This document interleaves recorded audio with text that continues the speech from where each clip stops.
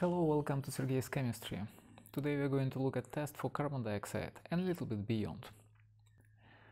You obviously know the test. Lime water would turn milky when the gas is passing through it. Here is my lime water and I have a gas ready. Here it's coming and let's look how test goes.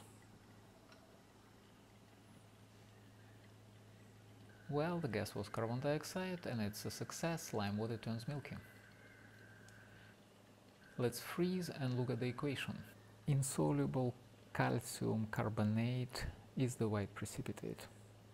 Acidic gas reacts with alkaline calcium hydroxide making salt and water. But let's look a bit beyond. If we allow the gas carbon dioxide to run even more.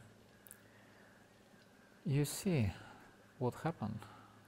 It gets clear back again. Because soluble hydrogen carbonate is formed.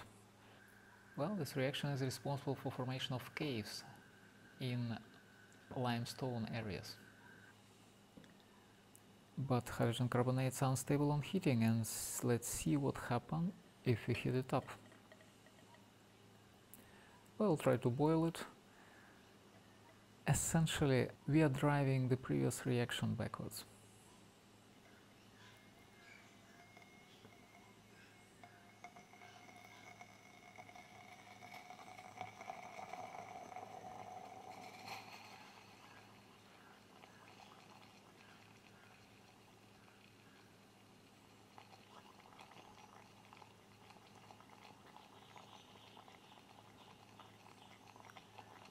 You see it turns milky back again, because calcium carbonate is reformed.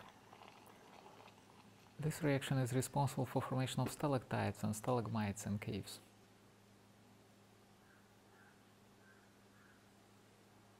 Here is the settled precipitate, the same calcium carbonate which is formed as positive result in lime water test or in thermal decomposition of calcium hydrogen carbonate. Thank you for watching. Please subscribe to the channel. See you next time. Bye.